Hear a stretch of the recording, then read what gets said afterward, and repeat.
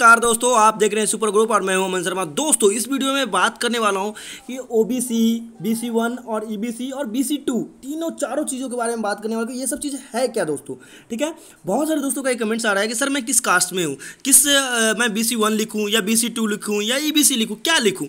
मैं फॉर्म में क्या डालूँ? तो इसके रिगार्डिंग मैं आप लोगों को एक क्लियर कर देने वाला हूँ दोस्तों कि आपको क्या डालना है और वो भी, भी मैं नाम के साथ बताऊँगा और वो भी मैं अभी सिर्फ़ बताऊँगा आपको इस वीडियो में दोस्तों ओ ठीक है? देख सकते हैं यहाँ पे सबसे ऊपर में लिखा हुआ है, अत्यंत पिछड़ा वर्ग। यहाँ देख सकते हैं अंत अत्यंत पिछड़ा वर्ग equal to B C one equal to E B C कहने का मतलब ये हुआ दोस्तों कि ओ बी सी को ओ बी सी को दो पार्ट में बांटा गया है, जो कि उसका पहला पार्ट है बी सी वन और दूसरा पार्ट है बी सी टू जिसमें आप लोगों में बता दूँ बी सी वन के अंतर्गत जो है बी सी वन हम उसी चीज़ को बोलते हैं ई बी सी को ही बी सी वन बोला जाता है दोस्तों ठीक है जो ई बी सी हम आ, बोलते हैं उसी को बी सी वन बोला जाता है जो कि बी सी वन और बी सी टू है वो स्टेट गवर्नमेंट के लिए बी सी वन और बी सी टू है चाहे ई बी सी है ठीक है बी सी वन को जो ई बी सी बोला जाता है वो स्टेट गवर्नमेंट के लिए है ठीक है मतलब हम जो बिहार मान लीजिए कि हम बिहार में रहते हैं चाहे हम झारखंड में रहते हैं चाहे हम यूपी में रहते हैं जिस स्टेट में हम रहते हैं उस स्टेट गवर्नमेंट के लिए ही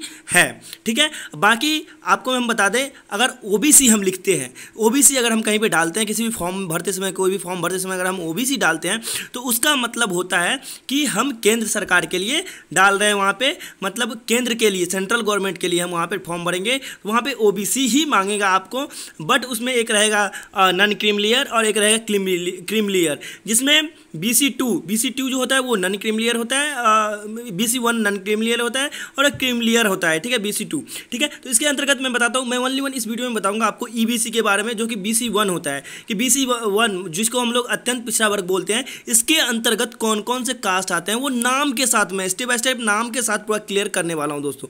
तो चलिए, मैं इस वीडियो को पूरा आपको पढ़ के इसमें सुना देता हूँ कि कौन कौन आते हैं इसमें। दोस्तों, इससे पहले मैं आपको बता दूँ दोस्तों, अगर आप मेरे चैनल पहली बार तो मेरे चैनल को सब्सक्राइब कर लेना और वेल आइकन को भी दबा लेना, क्योंकि इसी से हमारा लेटेस्ट अपडेट आप लोगों को ज़रूर मिलता रहेगा दोस्तों।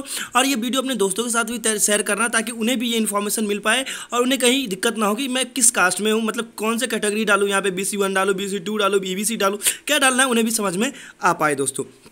तो चलिए स्टार्ट करते हैं। तो दोस्तों, सबसे पहले यहाँ देख सकते हैं आप, यहाँ पे लिखा हुआ है, कपरिया, उसके दूसरा यहाँ देखते हैं, कानून, कलंदर, कोच, कुर्मी, ठीक है? उसके बाद है, केवट, कादर, कोरा, कोरकू केवर्त खटवा खतौरी, खंगर, खट्टिक, उसके बाद खेलता, गोरी, गंगई, गंगोता, गंधर्व, गुलगु गुलगुलिया, ठीक है, चाय, चपोता, चंद्रवंशी, टिकुलहार, उसके बाद है ढेकारू, उसके बाद देख सकते हैं तमरिया, तुर, तुरहा, तियर, धानुक, धामीन, धीमर, धनवार उसके बाद नोनिया नाई नामशूद्र उसके बाद ऊपर से देखते हैं हम यहाँ पे ये जो नाम बोला है मैंने, ये सारा का सारा जो है ई बी सी में आते हैं बी वन में आते हैं, ठीक है?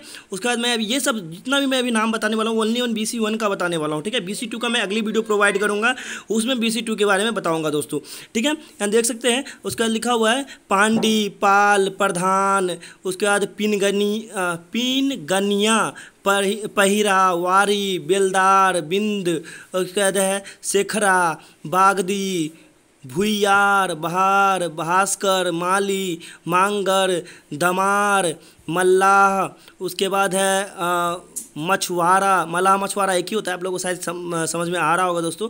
ठीक है? मारकंडे मुरियारी मलार मौलिक, राजधोबी, राजभर, रंगवा, उसके बाद वन पर सौटा, संतरास, उसके बाद देख सकते हैं अघोरी अवदल, कसाब, चीक, डफाली, धुनिया, उसके बाद आगे देखते हैं क्या है यहाँ पे है धोबी, नट, उसके बाद है धोबी, नट, उसके बाद बताया जा रहा है यहाँ पे देख सकते हैं परिया, उसके बाद भटियार, भाट, मेहत मेहतर, उसके बाद मरियासीन, दमारी, मोरसीकार, उसके बाद लिखा हुआ है साई मतलब फ़कीर जिसे बोला जाता है, आप लोग समझ रहे होंगे।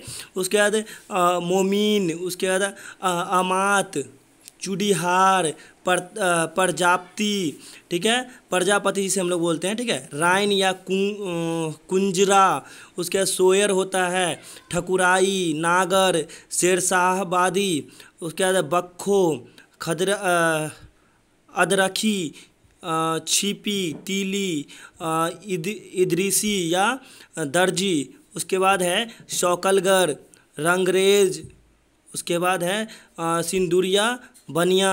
उसके बाद आगे देखते हैं क्या है। ठीक है? मैं नीचे कर लेता हूँ स्क्रॉल डाउन स्क्रॉल डाउन करने के बाद यहाँ पे आप देख सकते हैं यहाँ लिखा हुआ है आ, मुकेरी इटफरोस उसके बाद है बढ़ई पटवा आ, पटवा कमार देवहार सामरी वैश्य हलवाई पौध पौधा परिहार जागा हलेरी लहेरी राजवंशी उसके बाद कुल हैया उसके बाद अवध बनिया उसके बाद है बरई तमोली। तो इसमें से आप देख सकते तेली भी आते हैं इसके अंतर्गत और दांगी भी। साथ में दोस्तों इसके अंतर्गत आप देख सकते हैं ये सारे जो लोग हैं ये ईबीसी मतलब बीसी वन के अंतर्गत आते हैं। तो आप लोग ये देख सकते हैं और इसके अंतर्गत आपको पता चल सकता है कि आप किस कैटेगरी में हैं आप खुद से डिसाइड कर सकते हैं ठीक है? आप तो समझ ही गए होंगे दोस्तों। अब इसका इसका अगला पार्ट जो आएगा वो बी के बारे में बताया जाएगा। उसके बारे में मैं हाँ, हाँ आपको अभी बताऊँगा अगली वीडियो में। दोस्तों आज के लिए इतना ही। फिर देखते हैं अगली वीडियो में क्या आता है। ठीक है? आज के लिए इतना ही। जय हिंद, वंदे मातरम।